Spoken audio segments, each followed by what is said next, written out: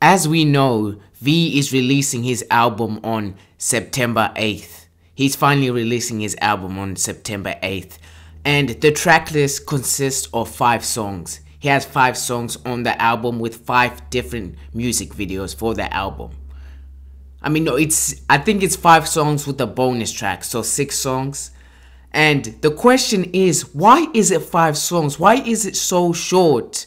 Because well, we know that Jimin's album it was short because he only had like two months to make it, and Jungkook album is gonna be like a mini album, so it'll be like six songs. But for V, he's been working on this album since 2019. That's how see he's been working on it for four years. Four years. That's how long he's been working on it, and we're only getting five songs.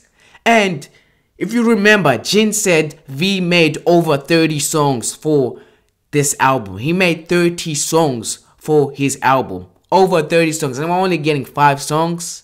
Something's fishy here. Like because and if you remember last year he on the V vlog, the vlog he had, he said that he shot 8 music videos for his album. 이거 이거 찍고 이거 이거 찍으려면은 저 뮤직비디오를 8개 찍어야 되더라고요. 그래서 어? 이렇게 이렇게 되지?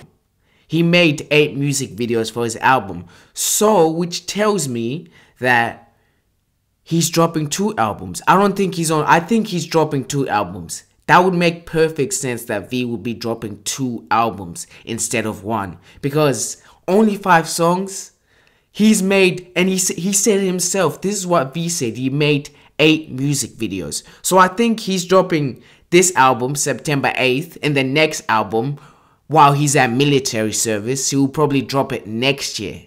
I think that's the plan V's going with. I think he's going for a different approach where he's dropping two different separate albums because this album it's a R&B soulful album. If you look at the track list, if we if you look at the songs we've heard, Love Again and Rainy Days, they're very R&B and soul inspired. And his album is said to be an R&B and soul album.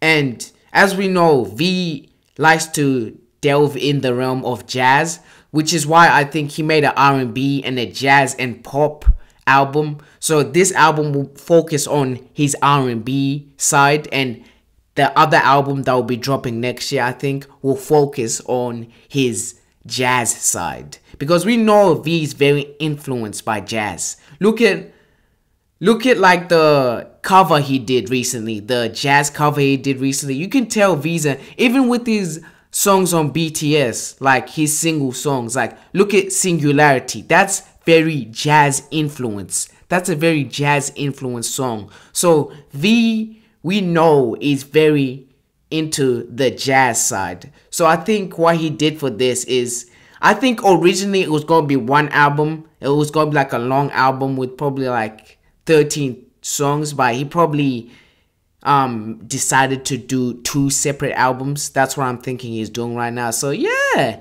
I, I honestly think we're getting two albums from V and the next one is next year.